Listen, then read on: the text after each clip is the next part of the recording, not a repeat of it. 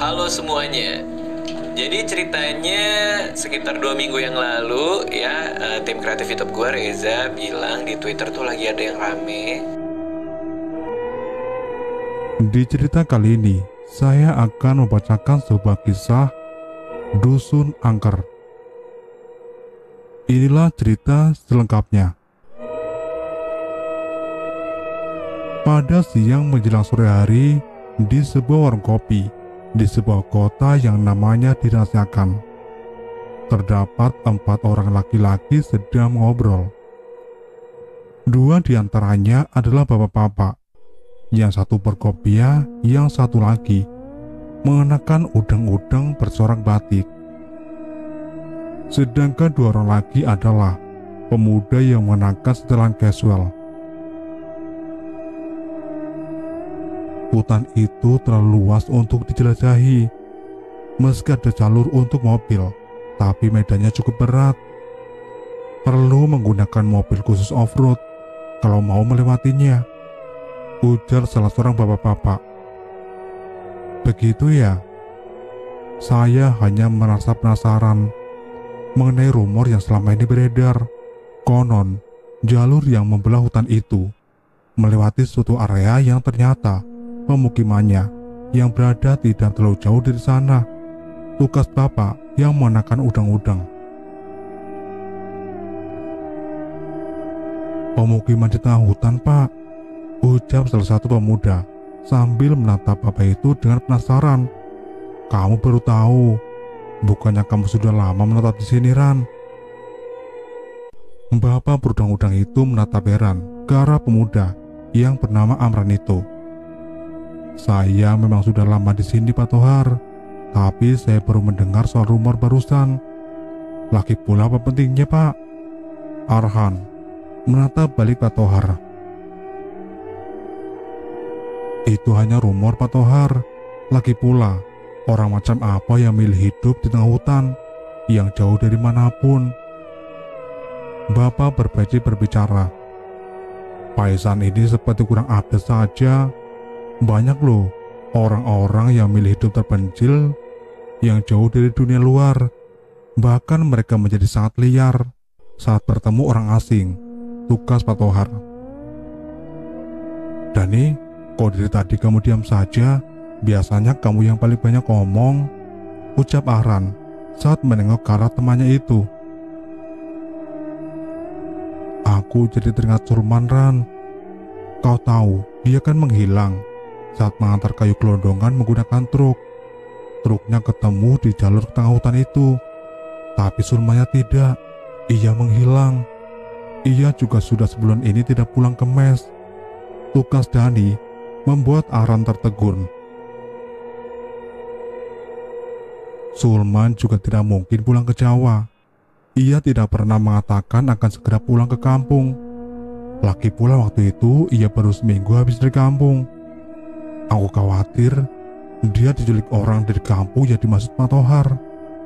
Tambahnya sambil menatap Pak Tohar. Jangan ngawur, dan lagi pula keberadaan perkampungan itu hanya sebatas rumor. Belum ada yang membuktikan kalau kampung itu ada. Tugas Aran sambil menggelengkan kepalanya. Itu karena mereka yang mencoba membuktikannya tidak ada yang kembali. Ucap Tohar disambut dengan kaget semua orang.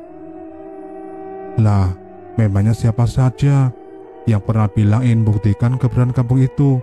Tanya Pak Ihsan dengan raut wajah tegang. Sulman itu pria pendek yang berprofesi sebagai supir truk pangkut kayu gelondongan kan? Dia pernah berbicara di depan saya bahwa dia ingin melihat kampung itu dengan mata kepala sendiri. Dia bukan satu-satunya yang pernah berbicara begitu pada saya. Sebelumnya, pasangan suami istri yang bernama Idam dan Lastri juga berbicara hal yang sama kepada saya. Tutur Pak Tohar, Aran dan Dani saling pandang. Sementara Pak Ihsan terlihat menggelengkan kepalanya. Lalu ucapannya, Sulman adalah teman kami, Pak. Bahkan, ia sudah kami anggap sebagai saudara. Menghilangnya dia jelas membuat kami semua panik, Pak. Polisi bahkan tim SAR belum juga menemukan hingga sebulan berlalu, kata Dani. Maksudmu, kamu ingin mencari Sulman sendiri, begitu? Tanya Paisan. Ia tidak akan sendiri. Saya akan memfasilitasi mereka. Sekaligus saya turut serta. Tugas Pak Tohar. Paisan menggelengkan kepalanya. Itu bukan ide yang bagus. Lebih baik kalian tidak melakukannya. Biar aparat yang mencari Sulman maupun pasangan itu, ucapnya.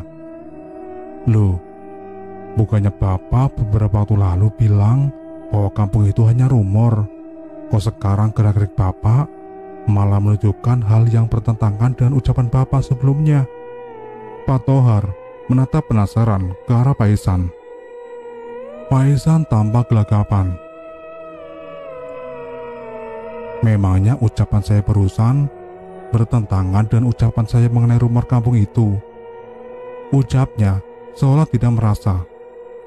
Aran menatap penasaran ke arah Paisan. Ia merasa jika laki-laki itu sedang menyembunyikan sesuatu. Paisan kan kenal baik dengan Sulman.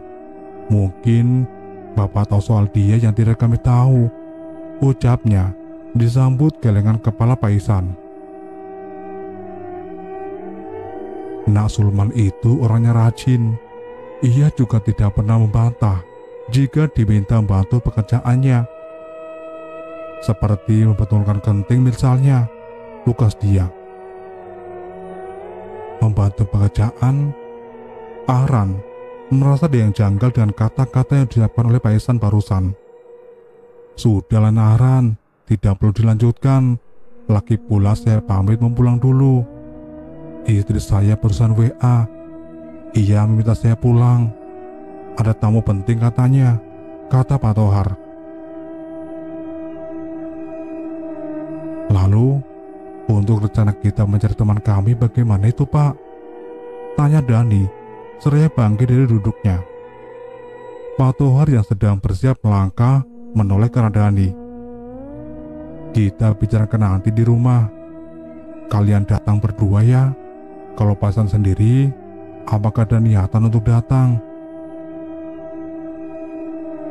Mungkin Bapak tertarik untuk ikut bersama kami, ucapnya, kemudian menatap ke arah Paisan yang sedang balik menatapnya. Tidak, terima kasih Pak Tohar. Lagi pula nanti malam, lagi pula nanti malam, saya mendapat giliran juga. Tugasnya sambil menatap kejauhan. Waktu beranjak petang, saat badai Isa, Aran dan Dani telah berada di rumah Pak Tohar.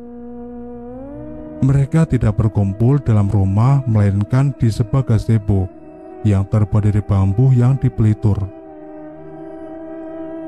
Malam itu, Mimi wajah Pak Tohar terlihat serius. Ia seperti baru mendapatkan kabar penting. Ini cukup gawat tamu yang datang tadi sore membawa kabar tidak mengenakan. Mereka datang sekeluarga hanya untuk beritahu saya bahwa anggota keluarga mereka, seorang perempuan, hilang ketika ikut rombongan para off-roader. Tidak ada satupun di keluarga itu yang tahu jalur yang dilewati para off-roader tersebut. Saya bertaruh jika para off-roader itu melewati jalur di mana Sulman dan pasangan suami istri itu hilang. Ujar Pak Tohar dengan nada kegemetar. Lalu, bagaimana tanggapan Bapak? Tanya Arham penasaran. Saya sudah berjanji pada mereka untuk melakukan pencarian ke lokasi tersebut. Kalian berdua tentu yang menjadi rekan perjalanan saya. Apalagi Kalian berdua ingin menemukan Sulman bukan?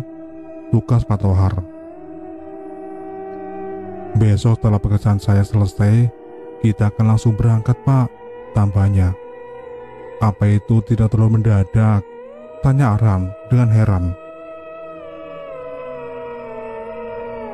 Loh, bukannya lebih cepat lebih baik. Bahkan seharusnya malam ini juga kita berangkat. Tapi berhubung mobil sedang di servis, ya tunda dulu sampai jam kerja besok berakhir. Kata Pak Tohar sambil mengedarkan pandangannya ke arah Arhan dan Dani. Singkat cerita, keesokan harinya tepat setelah jam kerja berakhir, yaitu pukul 04.00. Sebuah mobil SUV warna putih melaju keluar dari kota kecil itu. Mobil tersebut melaju kencang di jalan beraspal yang rata dan mulus. Kita terlalu sore berangkatnya. Sesampainya di sana kita bisa kemalaman ujar Ahran sambil menatap ke arah kaca depan. Sebentar lagi kita tiba di persimpangan itu. Hanya sepotong jalan yang diaspal. Selebihnya adalah jalan batu yang kemudian bersambung dengan jalan tanah yang sangat becek jika musim hujan, kata Pak Tohar yang mengemudikan mobil. Pak, apakah Bapak tidak melihat gelagat aneh pada Pak Isan? Saat kemarin kita di warung kopi, kok dia seperti gelagapan begitu saat Bapak bicarakan tentang kampung itu? Kata Dani yang duduk di samping Matohar. Mungkin dia belum sarapan, makanya gelagapan. Tugas Pak Tohar dengan santai. Masa karena belum sarapan, Pak? Mungkin dia sedang menyembunyikan rahasia yang berkaitan dengan keberadaan kampung itu, yang di tengah hutan itu kata Dani seraya melihat ke arah sebuah rumah berdiri kecil di tengah hutan dengan jarak beberapa meter dari pinggir jalan raya. Rumah itu mencurigakan. Aku barusan melihat sepasang mata menyala, mengintip dari balik jendelanya, katanya. Rumah itu sudah lama ditinggalkan penghuninya. Konon karena tanah itu milik pemerintah kabupaten membangun rumah di atasnya otomatis dianggap menyerobot tanah milik negara. Tugas Pak Tohar seraya melihat ke arah pertigaan. Ia kemudian belokkan kendaraannya ke arah kanan. Ini dia, jalur yang menuju ke tengah hutan rimba. Yang saya tidak suka dengan jalur ini adalah banyaknya truk yang parkir sampai menutupi badan jalan. Katanya, seraya melihat ke arah tiga truk yang terparkir hingga makan badan jalan. Masih mending truk biasa pak, coba ke rolling truk yang trail itu. Bisa-bisa kita mundur yang kasih jalan. Saud Ahran sembari menengok ke belakang dan tersentak. Astaga, pekiknya. Ada apa Ran? Sontak Pak Tohar menginjak pedal rem kemudian melihat ke arah kaca spion tengah. Dani juga lantas menengok ke belakang ke arah Arhan. Di bangku tengah, hanya Arhan yang wajahnya terlihat memucat. Ia juga terdengar melafalkan ayat kursi. Ada apa sebenarnya Ran? Tidak ada apa-apa tuh, kata Dani dengan gusar. Arhan mencoba menenangkan diri kemudian menghela nafas beberapa kali. Sumpah, makhluk itu ada di bangku belakang. Kedua mata itu bersinar warna merah. Ia seperti nenek-nenek berambut hitam mengembang begitu. Ucapnya membuat Dani terkejut. Seperti nenek-nenek berambut hitam mengembang. Salahku tadi ke rumah itu. Artinya, dia mengikuti kita. Tugas Dani seraya bergidik. Maksudmu, Tanya Aaron penasaran. Aku juga melihatnya. Tapi di rumah itu, di balik jendela yang sudah tidak ada daun pintunya, ia melihat ke arahku, seperti ingin menerkamku. Tugas Dani. Kalian banyak-banyak berdoa saja. Baca-baca ayat suci Al-Quran. Semoga sosok itu tidak menyeret kita ke dalam nasib buruk. Timpal Patohar seraya melajukan kembali mobilnya. Arhan dan Dani pun terdiam. Mereka kini fokus menatap ke depan, ke arah jalan yang kini berupa jalur tanah yang penuh dengan cekungan, bekas tapak ban mobil terutama truk. Jalan tanah tersebut membelah sebuah perkampungan dengan ramainya aktivitas para warganya. Rumah-rumah tampak berderet di sepanjang kiri kanan jalan yang dilewati. Saat Pak Tohar maju kendaraannya dengan kecepatan agak tinggi karena menemukan jalan yang berkontur rata, mendadak seorang nenek-nenek muncul menghadang. Otomatis Pak Tohar menghentikan laju mobilnya. Astagfirullahaladzim, Nek. Ngapain ngehalangin jalan? Untung saya sika berhenti mobil. Pergi Pak Tohar kemudian melihat arah nenek tersebut. Nenek itu tampak berbicara dengan bahasa lokal yang tidak dapat dimengerti. Dia bicara apa pak? Tanya Ahran sambil menatap nenek itu. Dari gerak-geriknya, sepertinya dia ingin kita putar balik. Dia melarang kita meneruskan perjalanan. Tugas Pak Tohar. Lalu, apa kita akan kembali saja? Oh, rupanya sudah hampir maghrib, kata Aran sambil melihat ke depan. Mendadak, terdengar suara klakson nyaring dari belakang. Saat menengok, rupanya sebuah truk logging trailer yang kosong melaju melewati mobil patohar melalui jalur sebelah kiri yang kosong. Si nenek tiba-tiba berlari ke arah truk itu, berusaha untuk menghentikannya namun gagal.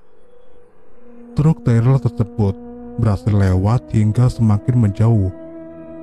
Truk trailer tersebut berhasil lewat hingga semakin menjauh saja dari sana. Si nenek tampak mencak-mencak kemudian melemparkan batu ke arah truk yang telah melewatinya dengan tidak sopan itu. Saat ia melihat ke arah mobil yang dikendarai Pak Tohar, mobil tersebut sudah tidak ada. Si nenek pun bersungut-sungut saat melihat SUV putih tersebut telah jauh melaju mengikuti truk trailer tersebut. Maafkan kami, Nek.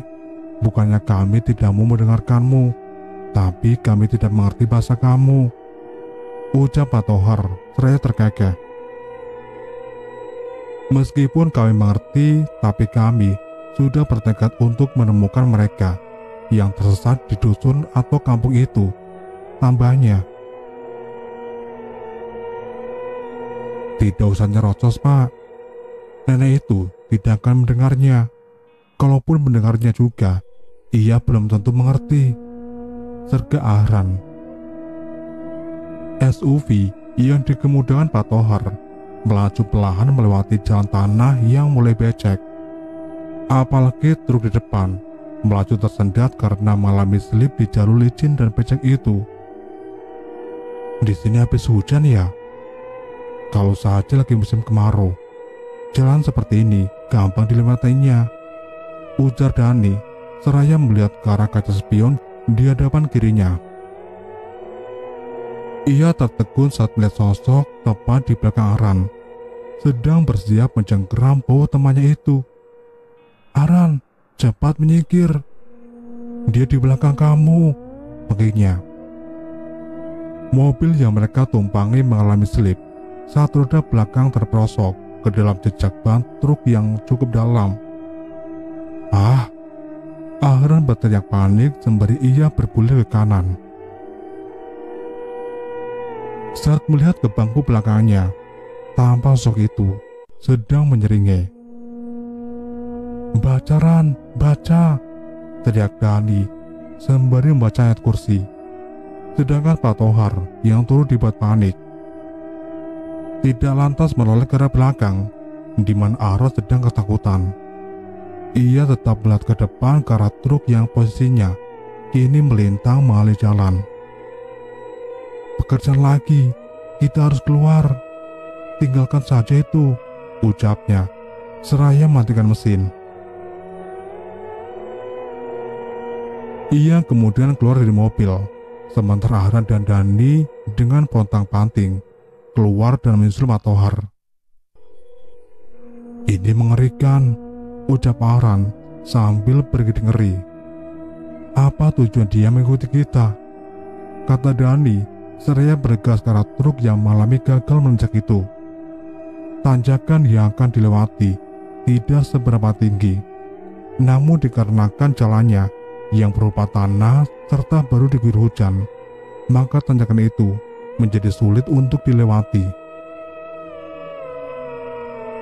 Pak Tohar yang lebih dulu sampai disambut sopir dan kernet truk tersebut. Wah, gagal menanjak ya. Cuma 4 kali 6 ya. Ujarnya. 6 kali 6 kok. Tapi saya tadi salah banting setir. Harusnya ke kanan, malah ke kiri. Saut si sopir yang masih berada di kabin. Sementara si kernet sedang berusaha menimbun lubang jejak ban truk dengan material seadanya, seperti batu ataupun kayu. Mari-mari begini, mau mengangkut kayu mas? Tanya Pak Tohar. Biasalah om, punya anak beranjak remaja, ingin dibelikan HP baru. Alasannya, karena harus belajar secara online karena belajar di sekolah, sedang dilarang. Saud sopir truk. Oh, saya Arkim. Itu kernet saya namanya Cayut. Kami ini, sejoli petulangan jalan hancur ini. Lanjutnya, Woi, sembarangan saja ganti nama orang. Panggil saya Jackson om. Saud si kernet yang baru selesai menimbun lubang bekas sejak truk. Arkim terkekeh sembari berusaha mengeluarkan kendaraannya dari jebakan tanjakan licin itu. Tidak bisa pak, ini terlalu dalam. Kayaknya kita harus menggali, ujar Pak Tohar. Waduh, Mana gelap lagi? Ujar Ahran seraya menyalakan senter HP-nya. Yud, ambil linggisnya. Kalau aku tidak digali, banyak akan tetap muter-muter di situ saja. Seru Arkim seraya menengok ke arah Cayut dan Patohar serta yang lainnya. Mana linggisnya? Tanya Dani. Kataku hilangkan saja ya, Seharusnya kan kalau tidak digali, banyak Cayut kemudian mengambil kabin truk dan mengambil lingkis yang disimpan di bawah bangku tidur di belakang kursi utama. Ia selanjutnya memberikan lingkis itu kepada Dani. Terima kasih mau membantu. Kita ganti-gantian saja menggalinya. Ucapnya, seraya merogoh sakunya, mengambil handphonenya. Selanjutnya Cayut menyoroti kolong truk di bagian belakang. Sementara Dani mulai menyingkirkan gundukan tanah, ia menghambat ban hingga menjadi slip. Kim, coba maju. Seru Cayut saat Dani menyelesaikan menyingkirkan gundukan tanah di kolong truk. Truk itu mulai bergerak perlahan dengan suara derunya yang keras, pertanda jalur belum sepenuhnya dapat dilewati. Ayo bantu dorong. Seru Pak Tohar yang dibantu Arhan mulai mendorong truk. Mendorong truk Taylor susah juga. Punya dua badan sih, keluhnya. Sementara Arkim yang sedang dibalik roda kemudi. Mendadak tersentak saat melihat suatu sosok menyeramkan berdiri di antara sebatang pohon dan rumpun bambu. Itu ada sosok yang sebelumnya mengganggu Arhan dan kawan-kawan. Yud, apa itu? Pegiknya panik. Apa emangnya? Saud Cayut sambil berlari ke arah kepala truk. Di antara pohon dan rumpun bambu. Pak Tohar, Arhan, dan Dandi menghentikan aksinya mendorong truk. Mereka turut melihat ke arah yang ditunjuk Arkim. Nenek itu lagi. Apa maunya dia mengikuti kita? Gumum Arhan. Pir, sebaiknya jangan dihiraukan. Terus gas, biar truknya bisa naik. Aku rasa ban belakangnya sebentar lagi bisa naik. Ujar Pak Tohar. Seraya kembali mendorong badan truk itu, dibantu Arhan dan Dani. Hantunya nongol lagi, nongol lagi. Sudah kayak ayah saja, umpat Arhan. Penggemar tinja mengumpat. Ledek Dani seolah lupa bahwa mereka sedang diperhatikan sosok demit berambut mengembang itu. Mendadak, sosok tersebut berkelebat dan tahu-tahu muncul di belakang Arhan yang posisinya paling belakang setelah Patoar dan Dani. Dan belakang leherku terasa dingin begini, seperti sedang diraba mayat yang sudah dikubur selama 100 hari. Ucap Arhan gemetar. Dani perlahan menoleh ke arah Arhan. Ia pun terhenyang saat melihat sosok tersebut sedang menjeringai di belakang temannya tersebut. Lain kali jaga bicaramu, atau dia mendatangimu seperti ini. Suara jeritan Arhan menggema di tempat tersebut. Bahkan terdengar cukup jauh hingga ke hadapan suatu tumpukan batu berbentuk seperti sebuah gapura. Tumpukan batu itu mengangkangi suatu jalan setapak menuju suatu dusun yang nampak berkabut tidak terlihat adanya tanda kehidupan di sana. Hanya rumah-rumah yang terbuat dari kayu dan bambu yang berjajar dengan jarak sekitar 4 meter. Meski tidak tampak tanda-tanda keberadaan manusia, namun samar-samar terlihat siluet hitam dan beberapa sosok manusia yang membawa busur dan panah. Sebagiannya terlihat membawa ombak dan senjata sejenis parang. Siluet-siluet tersebut terlihat bergerak sangat cepat menuju ke asal tempat di mana suara teriakan terdengar. Mereka bergerak sangat cepat melewati pepohonan, semak belukar hingga sungai kecil. Sementara itu, di mana Pak dan yang lain sedang berusaha membantu mendorong truk yang banyak selip mereka tetap melakukannya meski baru saja diteror oleh sosok mistis. Dan itu belumlah berakhir, karena sosok tersebut bisa muncul sewaktu-waktu. Hal itu karena setelah mengganggu Arhan, mendadak hantu itu menghilang. Namun suara erangannya terdengar muncul di tempat itu. Padahal sebelumnya, sosok tersebut tidak mengeluarkan suara apa pun. Setelah cukup lama berupaya, akhirnya truk berhasil naik. Sekarang, giliran Pak Tohar menaikkan mobilnya melalui tanjakan yang amat licin dan becek itu. Beruntung, kita tidak perlu mendorong lagi. Mobil ini sudah double gardan, belum lagi witch yang siap sedia. Ucap Pak Tohar dengan bangga. Itu cukup melegakan. Tugas Dani yang kini duduk di bangku tengah bersama Arhan Kalian duduk berdua. Saya jadi merasa menjadi seperti sopir pribadi kalian. Kata Pak Tohar sambil mematikan truk yang melaju di depannya. Lah, tidak usah protes pak. Saya duduk di belakang. Kan karena Arhan diganggu terus sama nenek gerondong. Tugas Dani. Kacau deh. Suara nenek itu masih terdengar. Gumamnya. Tiba-tiba Pak Tohar mengeram mobil dengan mendadak, membuat para penumpangnya terpelanting. Astaga, di jalan hancur begini, kok bisa-bisanya berhenti mendadak seperti habis ngebut, Pak.